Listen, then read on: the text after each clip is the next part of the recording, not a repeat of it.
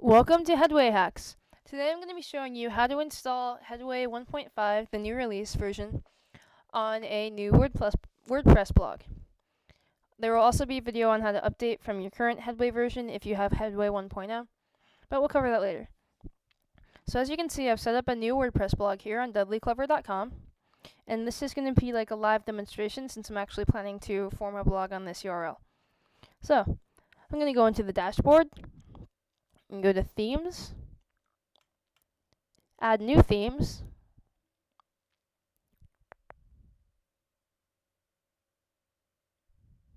and upload. So now you click browse and you go to where you've downloaded your installation of Headway, in this case my downloads folder, Headway 1-5, Headway-15, install now. This tutorial assumes that you've already download that you've already downloaded Headway to your computer. If you don't know how to, you need to go to headwaythemes.com and log in to get to the member area. And from there, you can download your installation.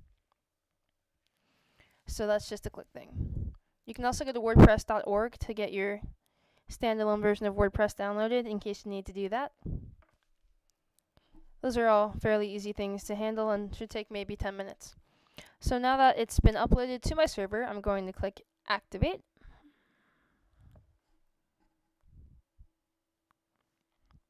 And there you go. Now if we go back to the main page and refresh, you can see that Headway is all installed. Now I'm going to click configuration. I'm going to configure the blog so that you can see kind of how it's set up. So just to get some basic things down, you can go to configuration. You can put in your feed URL. In this case, it would be Deadly Clever.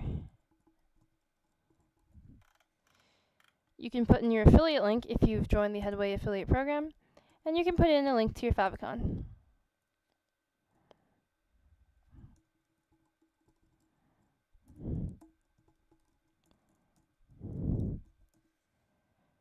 Save your changes. And that handles some of the behind the scenes stuff you'll need. You can also go to styling and features and disable the visual editor if you're going to be a more advanced user and you don't want to use the visual editor. Now I'm going to set up the search engine optimization. If you don't really know how to search engine optimize, you can see you can check out the documentation for more information on that. So really, I'm not going to mess too much with the titles. You don't want bad things to happen.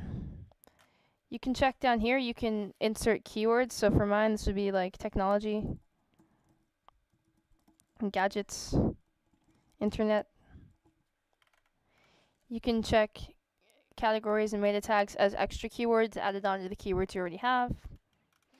And you can optionally no index all these pages, which is recommended by Headway.